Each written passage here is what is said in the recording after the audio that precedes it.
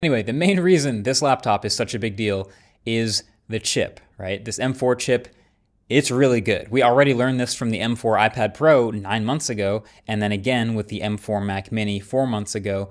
This chip in the laptop will be passively cooled, so no fans in the air, unlike the Mac Mini. So yeah, sustained performance ceiling is going to be a bit lower. But for the quick bursty stuff like normal computer activities, yeah, it's amazing as expected. And then the specific benefit, in case you forgot, of the M4 over previous generations of Apple Silicon is going to be more AI specific horsepower. So, a more powerful 16 core neural engine. Some of that manifests itself in useless stuff like image playground, rendering images locally faster than ever before. Cool.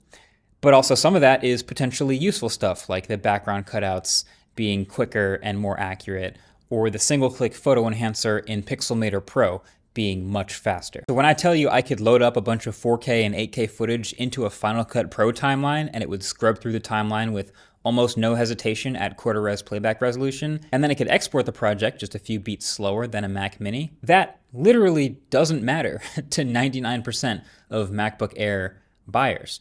But the chip is so powerful, it's capable of it, so it's just good to know that you could.